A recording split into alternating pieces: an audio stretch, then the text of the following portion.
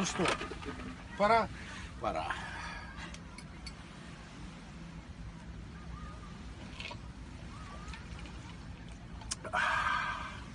Че, говорят, там у вас понедельник?